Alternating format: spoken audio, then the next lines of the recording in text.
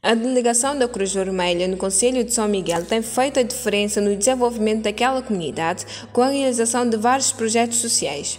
Recentemente, a organização deu início ao projeto Minha Casa, Minha Maior Riqueza, que consiste na construção de casas de banho em habitações de famílias menos favorecidas. Arlindo Lopes, um dos beneficiários, manifesta sua gratidão para com o trabalho feito pelos voluntários. Fico muito contente, amor, e estava mesmo necessitar, amor, minha mulher seu qual e cada consegui bem e depois já pedi para mesmo apoio. Mesmo na câmara estou meu nome depois fica só todo mediano. Graças a Deus Cruz Vermelha tem apoio grande respeito para todo lado o presidente da Cruz Vermelha, Silvio Tavares, avança ainda que a organização quer dar atendimento psicológico às famílias e pessoas com transtornos causados pela pandemia e não só. Além de, desse projeto, a Cruz Vermelha tem, está a, a, a dar seguimento a um, a um, serviço psicológico, né?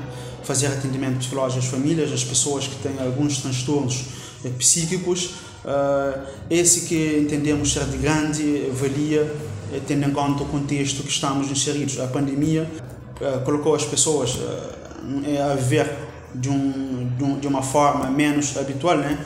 as pessoas não, não, não tinham não estavam acostumados a, a, privar as suas vidas e isso consequentemente provocou uh, vários transtornos esse que a Cruz Vermelha de Cabo Verde e, e o Conselho Local tem, tem uh, pautado para que possam, possamos ajudar eh, as pessoas, as famílias uh, a driblar essa, essa situação da pandemia, né?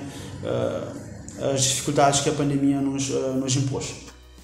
Silvio Tavares sublinha que a pandemia limitou o trabalho da Cruz Vermelha, porém realça a importância dos voluntários, membros e parceiros na realização dos projetos para ajudar pessoas com alguma vulnerabilidade, fazendo a diferença e melhorando as suas vidas.